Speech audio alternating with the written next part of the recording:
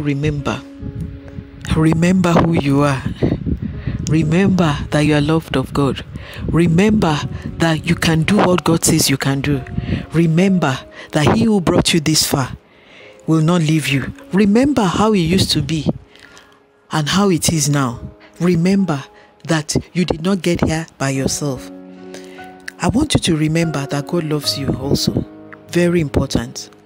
The word of God is for your doing. Put it to work, put it to practice. The Bible says faith without works is dead. I want you to remember that He has given you all that you require to be who He has created you to be. Remember the word of God that you have read. The word of God that says that Christ in you is the hope of glory. The Christ in you is not just docile, the Christ in you is active. The Christ in you is there to help you.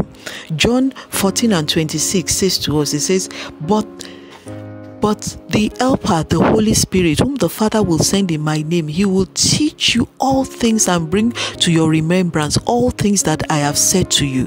He will remind you that He is with you always. He will remind you that He is holding you with His right hand of righteousness, according to Isaiah 41 and 10. He will not leave you, He will not forsake you, He will not abandon you. He's a faithful God.